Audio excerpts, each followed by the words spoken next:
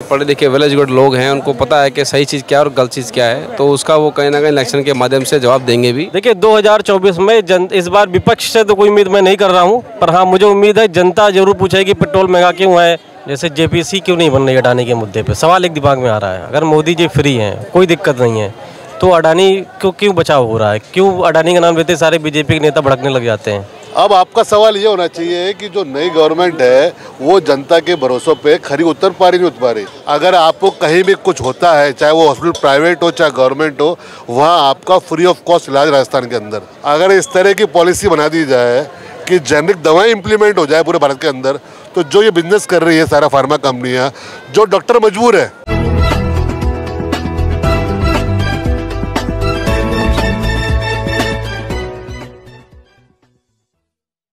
नमस्कार आदाब जय हिंद साथियों। मैं हूँ मेहताब खान और आप देख रहे हैं जस्टिस टीवी इंडिया। और आज हम बात करेंगे 2024 की जो कि कनाट प्लेस में हम मौजूद हैं। दिल्ली का दिल कहलाया जाता है। आइए हम जनता से बात करेंगे कि क्या मूड है उनका 2024 के लिए। क्या नाम है सर आपका? मोहम्मद गौस बादशाह। मोहम्मद भाई आप ये बताइए कि 2024 में क्या बदलाव होगा या फिर वही मोदी सरकार को लोग पसंद करेंगे? महागठबंधन के रूप में राहुल गांधी के नेतृत्व में पीएम कैंडिडेट भी वही है होने वाला है। नहीं आप कह रहे हैं राहुल गांधी पीएम के रूप में है उनकी तो सदस्यता भी रद्द कर दी गई है तो वो कहाँ से सूरत से अपील कर लिए थे वो जल्दीबाजी में हुआ था अभी उस पर ऑलरेडी काम शुरुआत हो चुका है। मतलब आप कह रहे हैं कि आने वाले समय में बदलाव होगा मगर मोदी सरकार तो बहुत अच्छा काम कर रही है। कौन सी अच्छी काम कर रही है? 700 किसान के कुर्बान होने के बाद तीन बिल वापस लिया था।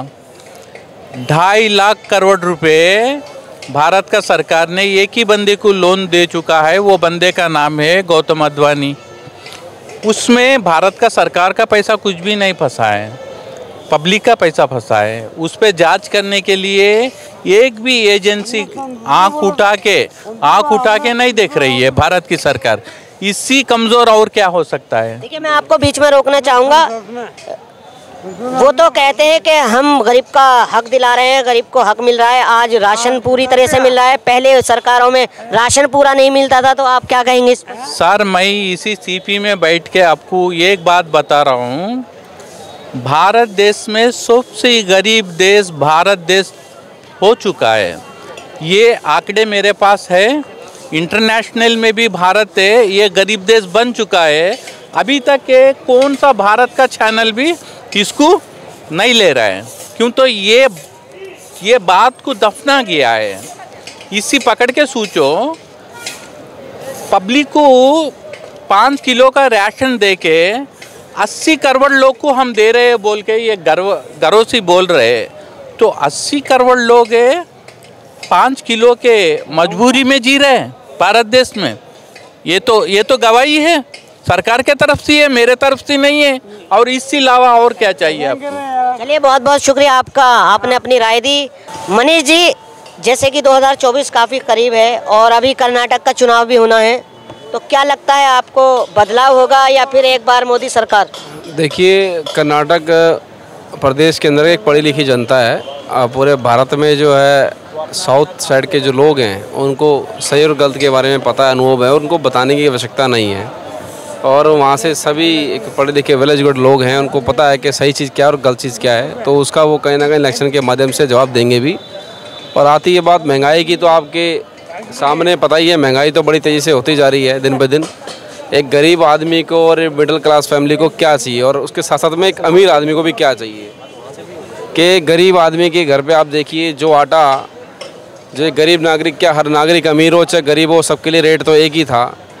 तो वो आज रेट क्या हो गया? आटा जो दस रुपये से लेके पंद्रह रुपये था आज वो आटा तीस से पैंतीस रुपये का रेट हो गया है। और एक दूध मैं, आपको बीच में रोकना चाहूँगा। जनता के बेसिक मुद्दे क्या हैं? मैं बेसिक मुद्दे पर जाऊँगा जिस पर इलेक्शन होना भी चाहिए।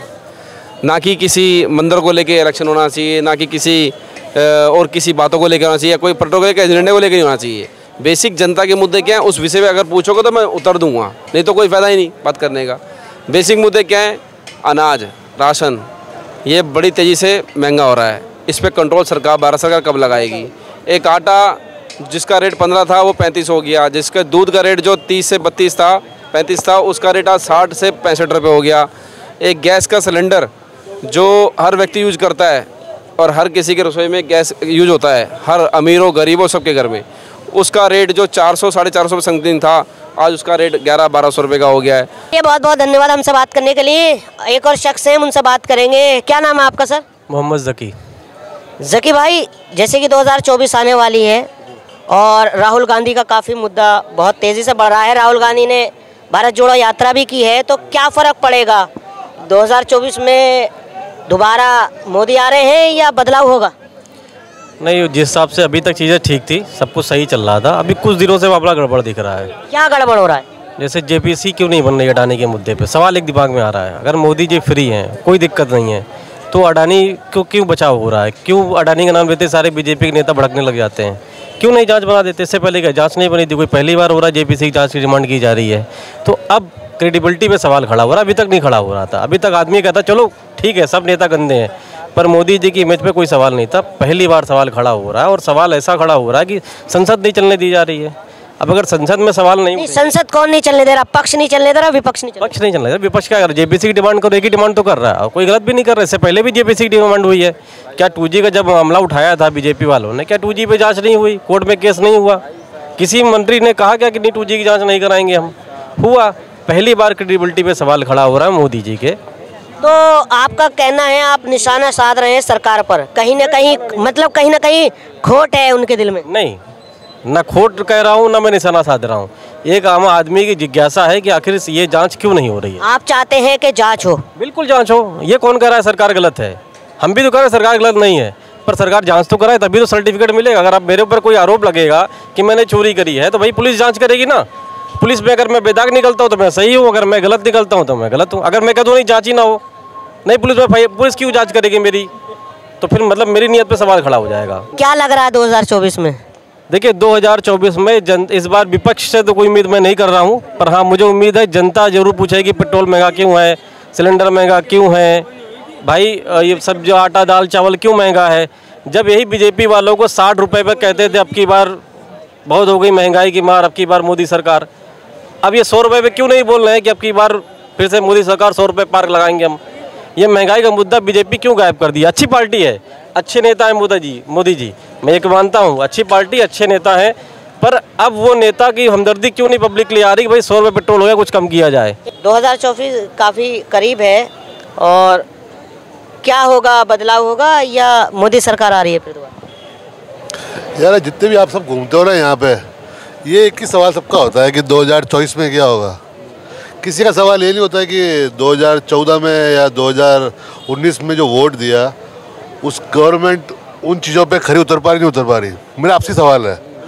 मैं सभी का एक ही में देख रहा हूँ। मैं शाम को कई बार आता हूँ यहाँ पर दिल्ली रहता हूँ मैं लोकल हूँ यहीं का। रोज़गार पे बात हो या विकास पे बात हो अच्छा मतलब रोज़गार मिल तो रहा है पब्लिक खुश है शोभा यात्रा कितनी अच्छी तरीके से निकाली जा रही है। मेरा, मेरा जो भी चैनल है आपके आपके चैनल के माध्यम से ये सवाल है कि जितने भी रिपोर्टर हैं, उनको अपने सवाल चेंज करने चाहिए कि जनता ने जब 2004 के अंदर और 2009 के अंदर जब घोटाले हुए थे, उनको देखते हुए हमने वोट दिया दूसरी गवर्नमेंट को, ठीक है? दूसरी गवर्नमेंट को हमने इसलिए वोट दिया है क्योंकि जिससे कि विकास हो, ठीक है? अब आपका सवाल ये होना चाहिए कि जो नई गवर्नमेंट है, वो जनता के भरोसों पे खरी उतर पा रही नहीं उतर पा रही? क्योंकि मुझे तो याद है, जब हम तो स्कूल में हुआ करते थे वो स्मृति ईरानी जी थी, वो सिलेंडर के मुद्दे पे शायद चूड़ियाँ भेजी थी मनमोहन सिंह जी को शायद 2005 में कि चार में, कि सिलेंडर बढ़ गया है और अभी शायद कोई चूड़ियाँ वूड़ियाँ कुछ नहीं भेजती स्मृति ईरानी जी। तो अभी वही सरकार है जिसके मुद्दे वो थे, अभी वो चुप बैठी है। तो मेरा आप पत्रकारों से ये निवेदन है कि अपने सवाल चेंज करें सारे लोग। मतलब आपका ये कहना है कि आज स्मृति ईरानी कहाँ है? जो इससे पहले सर पर सिलेंडर लेकर फिरती थी आज? ग्यारह सौ रुपये का तो आपका ये कहना है कि आज स्मृति ईरानी कहाँ है? सर मेरा सवाल ये है कि आपके सवाल चेंज करो। आपके सवाल ये मत करो कि 2024 में कौन आएगा। आप सवाल ये करो कि जनता को जो उपेक्षाएँ थी उनसे जो गवर्नमेंट को वो संतुष्ट है कि नहीं है ये हमें विपक्ष में एक नया मोदी चाहिए। विपक्ष में एक नया मोदी आपको और चाहिएगा जिससे कि जो लोग संतुष्ट नहीं है मेन चीज़ होती है चिकित्सा और शिक्षा। वहाँ विकास हुआ ही नहीं हुआ। भारत मार्ग की जय तो कोई बोल जाएगा। शिक्षा और चिकित्सा के क्षेत्र में क्या हुआ है वहाँ कुछ हो रहे नहीं हो रहे। और कितने साल हो गए मेरे ख्याल पाँच और दस साल चौदह पाँच नौ साल हो गए। वहाँ क्या हुआ विकास क्या हुआ? उन उन बातों पे आपके मुद्दे होने चाहिए क्या कर रहे हैं क्या नहीं कर रहे हैं।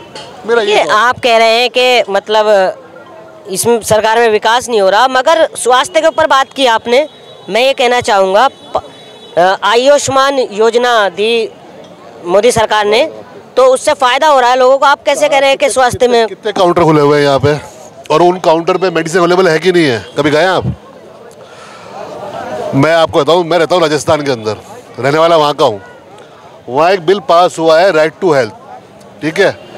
उस बिल के अंदर ये होता है कार्ड बनता है चिरंजीवी कार्ड बनता है वहाँ पे। मैं किसी पार्टी का सपोर्ट नहीं कर रहा मैं आदमी का सपोर्ट कर रहा हूँ।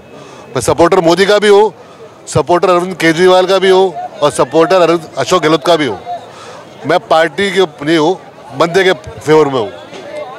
वहाँ पर एक चिरंजीवी योजना है, वहाँ किसी को कुछ होता है तो 25 लाख का उसको पूरा कवरेज है, राजस्थान के अंदर। इंडिया में ऐसी कोई योजना नहीं है, कहीं और जो बिल पास हुआ है राइट टू हेल्थ वाला, अगर आपको कहीं भी कुछ होता है, चाहे वो हॉस्पिटल प्राइवेट हो, चाहे गवर्नमेंट हो, वहाँ आपका फ्री ऑफ़ कॉस्ट इलाज राजस्थान के अंदर। इंडिया में ऐसी व्यवस्था नहीं है। और जिस आपकी बात कर रहे हो आप आप उस मेडिकल स्टोर पे जाइए, आपको सौ में से नब्बे मेडिसिन मिलेगी नहीं। और दूसरा, अगर ये चीज़, चलो मेडिसिन आपकी बात छेड़ता हूँ मैं, चिकित्सा के क्षेत्र में करना है तो इंडिया के अंदर जेनिक दवाई क्यों नहीं आ रही? है क्यों नहीं प्रोवाइड कर रहे हैं? ये क्यों फार्मा कंपनियाँ डेवलप हो रही है, और ये डॉक्टर कर रहे हैं इस तरह की? ये फार्मा कंपनी डेवलप कैसे हो रही है इतनी? क्यों, क्या कारण है? अगर इस तरह की पॉलिसी बना दी जाए, कि जेनरिक दवाएँ इम्प्लीमेंट हो जाए पूरे भारत के अंदर तो जो ये बिज़नेस कर रही है सारा फार्मा कंपनियाँ जो डॉक्टर मजबूर है उनके माध्यम से करने पे। अब सारे डॉक्टर जा रहे हैं आजकल विदेश में बच्चों को लेके घूमने भी। देखना मजदूर बहुत जाएँगे डॉक्टर ये सारे के सारे डॉक्टर को पैकेज कौन देगा? फार्मा कंपनी देंगी। तो ये करो ना यार ये पॉलिसी लेके आओ ना चिकित्सा के में एजुकेशन में करे ना। आप बाहर जाओ आप यूरोपियन कंट्री में जाओ सारी चीज़ें फ्री है आपकी फ्री ऑफ़ कॉस्ट है। यहाँ आपका कहना है कहीं ना कहीं कमज़ोरी है यहाँ पर? मेरा यही है सर। मोदी बहुत काम कर रहा है लेकिन हम उनसे संतुष्ट नहीं है। हमें उनसे और उपेक्षा है। पर हम कनाट प्लेस में थे हमने सबसे बात की अलग अलग राय थी सबकी। और आपकी क्या राय है इसमें आप कने, अ, कमेंट करें। कैमरामैन विकास के साथ मैं मेहताब खान और जस्टिस टीवी इंडिया।